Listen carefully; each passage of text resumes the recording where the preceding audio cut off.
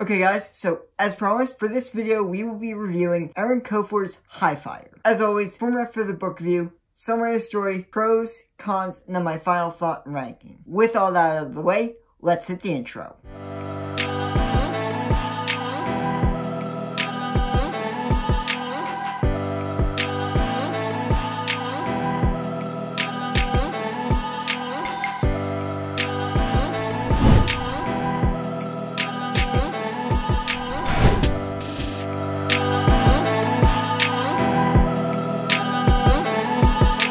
Story takes place in the swamps of Louisiana, where the last of the dragons, Vern, is living in hiding. But unlike the noble dragons of the past, Vern has completely gone native into the modern world and enjoys watching Netflix, ordering fast food. So he has become a very modern, equipped dragon. Our story also follows a young kid named Squid and his mission to try and get him and his mother out of their really bad situation that they are in. So Squid soon takes a job with a local smuggler to run things up and down the river, but he soon really gets more than he bargained for when he sees something that could be very, very damaging to a very important official in his town. But soon, circumstances force Vern and Squid together and they form an unlikely partnership. But soon after that, trouble strikes both Vern and Squid, and the two of them must work together to get themselves out of this tricky situation.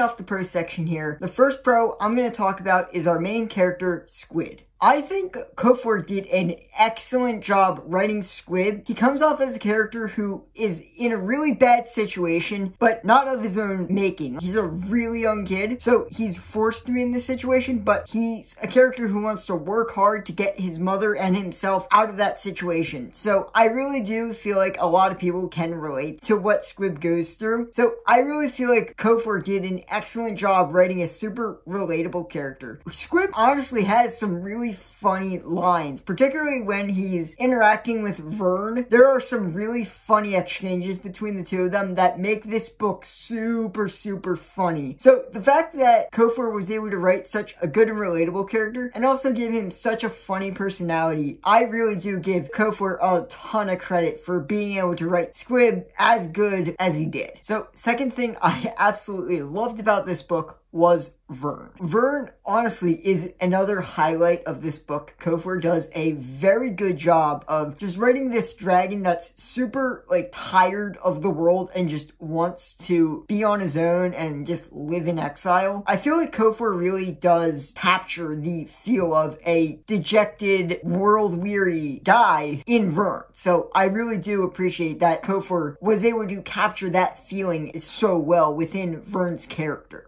The other thing I really love about Vern was Colfer brings this sort of satirical comedy to Vern that is honestly absolutely hilarious. Again, like I said, the interactions between Squid and Vern are some of the best highlights in the book. I feel like there is just so much funny comedy between the two and such a really good chemistry between the two of them that it is a very good partnership. It feels more like a friendship than a partnership and eventually it does turn into a true friendship between the two of them. So Colfer did an excellent job writing the relationship between Vern and Squid and just making it such a wholesome and funny relationship while making this absolutely hilarious dragon that honestly does kind of remind me of Shrek. So another thing surprisingly that I liked about this book was the antagonist Hook. I absolutely love Hook in this book, particularly because of how crazy the guy is. Colfer does a really good job of getting you into Hook's headspace. And Colfer does a really good job of just showing how absolutely crazy Hook is. And I absolutely think Colfer nailed Hook's insanity. What Colfer did, interestingly enough, is he went back and explained why Hook is so crazy and not just like, hey, I'm crazy for no reason. Colfer gave us an explanation on why he is the way he is. So I really do appreciate that. But Hook being so insane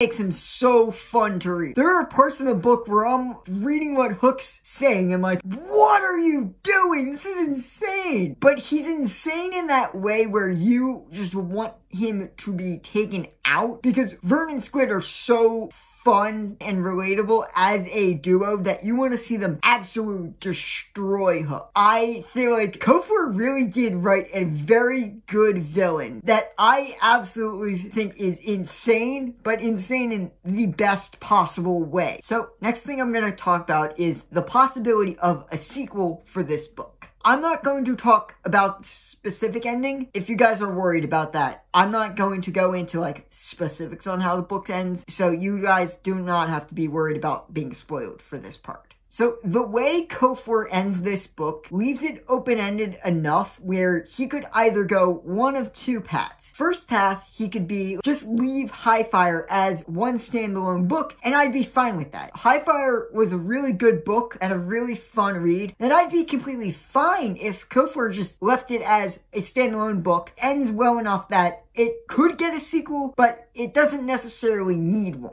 The other hand, I really think that if Colfer wanted to do a sequel, he absolutely could. There's enough there in the story, I think, that he could figure out a reasonable way to make a sequel and make it work within the universe. Either path Colfer goes, I would be okay if this book was a standalone book or if we actually did get a sequel later on.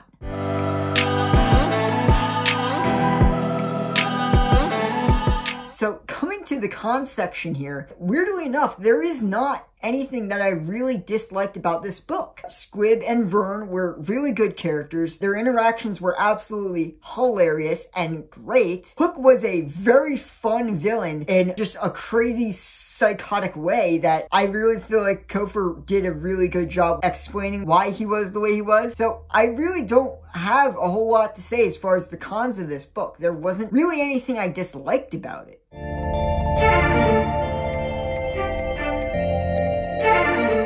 Alright guys, so final thoughts on the book here. Like I said, I absolutely love this book. Again, like I said, there weren't a whole lot of things that I disliked about this. Vern and Squid were really good characters. They really worked together well. Hook was a very funny and crazy villain, so I really do like how Colfer wrote all three of his sort of main characters, I really think this book is definitely worth checking out if you want sort of a light-hearted fantasy read that isn't that long. So I'm going to give Eric Colfer's Highfire a 9 out of 10. Alright guys, thank you so much for watching the video. If you guys enjoyed it, please do not forget, like, share, subscribe, and hit the notification bell so you do not miss a video. Down in the comments, as always, if you guys want to discuss High Fire, feel more than free to do so, but please keep it spoiler free for people who haven't read the book yet. If you guys have books you want me to do reviews on in the future, please do not be afraid to leave those down in the comments. So if you guys like that content and want to see more of it, I will link to my last video, which was my Rage of Dragons book review, if you want to go and check that one out. If you guys want to see more of my behind the scenes stuff, you guys can go and follow my Instagram, which is Riley Murray Book Reviews, and my Twitter, which is Riley T. Murray. I will leave links to both of those down in the description